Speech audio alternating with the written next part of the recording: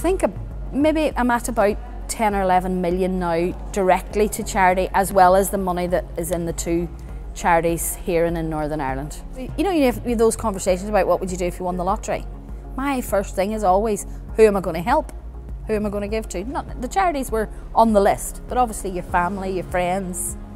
I get to change people's lives every day if I want to, and I thought it's a thing you can now share with other people. So one, if you're feeling down, helping other people and doing something to help other people will lift you.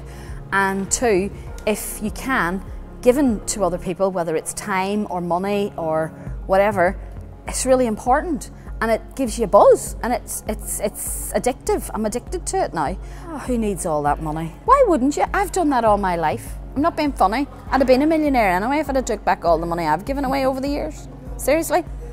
People will tell you. You know, I, I mean, I, People do ask me, how do you cope with that amount of money? I said, I never did.